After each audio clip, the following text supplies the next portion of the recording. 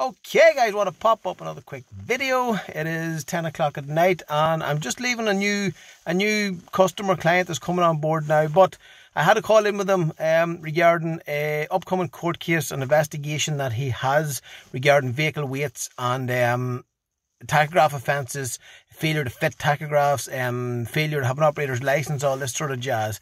So what I want to explain guys is this here particular um, company have a number of vans. That's all they have is vans, okay? And they went and they purchased a number of second-hand vehicles out of England. The vehicles have came back. Um, they got them all liveried up, all the writing on them, all good to go. They run around the roads for a couple of months thinking there was no problem.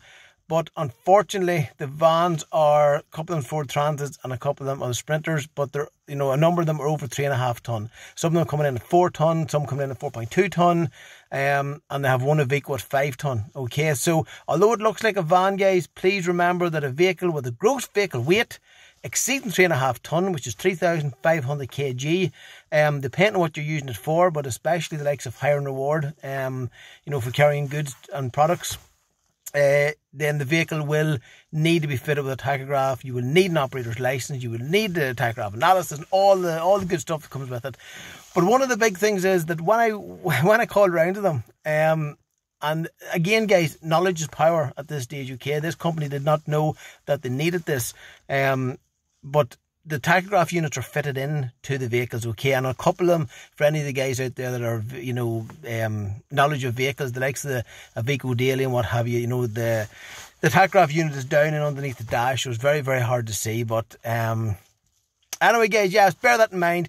Are your vehicles over three and a half ton? And please remember that when you hook up a trailer combination, get rid of the first weight, go for the second weight. So his next issue that he had was overweight um, on two of his smaller vehicles and they were overweight on axle two. So the payload, well, put like this here, they didn't understand the payload, they didn't understand the gross vehicle weight, they didn't understand the unladen weight, they didn't understand axle weight, they didn't understand pin weight, they didn't understand gross train weight.